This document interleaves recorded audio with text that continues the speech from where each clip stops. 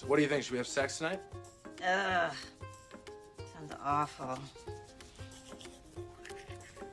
I'm just really constipated. You really want to? Well, now.